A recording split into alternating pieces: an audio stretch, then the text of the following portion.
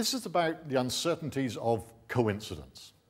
Let's suppose you had 100 people in a room and you got them to choose, each of them had to choose a random number, a number between 1 and 2,500. But I, I was going to say, make sure you all choose different numbers. You know, I want you all to try to choose different numbers, your own unique number. Now, it's between 1 and 2,500, so you'd think they'd all be able to choose different numbers. Let's see what happens. Now, this time we're just generating these at random from the computer. Let's see if there are any duplicates among this lot. Let's check.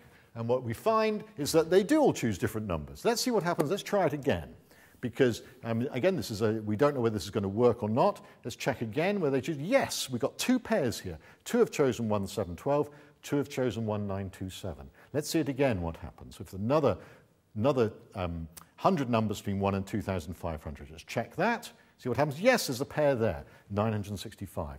Now, it turns out if we keep on doing this again and again and again, we're going to, most of the time, we're going to find some matches. We didn't the first time. It shows it doesn't always work. But in fact, seven out of eight times on average, about 87% of the time, we are going to find that we have at least uh, two people choosing the same number. And that seems quite remarkable.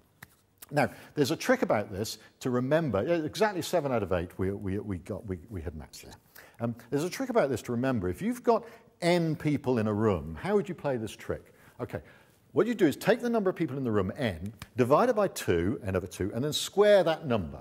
And then get them to choose a number between 1 and that number you finished up with. So, for example, if you just had 20 people in front of you, you say, okay, choose me a number between 1 and, well, you take 20 divided by 2, you get 10. 10 times 10 is 100. And so you choose a number between 1 and 100. And you'll find that if they choose random numbers between 1 and 100, now, which is actually quite difficult to do because people have preferences for certain numbers, but if they do, they will, on average, you, seven out of eight times, they will not cho all choose different numbers. They will choose a pair. In fact, it'll be more than that because they do have preferences for certain numbers.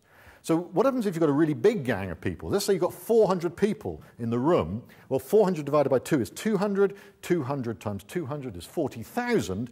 Let's get them to choose between 1 and 40,000. Let's see what happens. Okay, this is 400 numbers chosen at random between 1 and 40,000. It's quite difficult to see if there's any pairs. Fortunately, we've got the program to check Are there any duplicates? Are there? No, they did it. Let's try it again. Let's try it again. As I said, it doesn't always work, but seven out of eight times there should be duplicate. Let's try it again.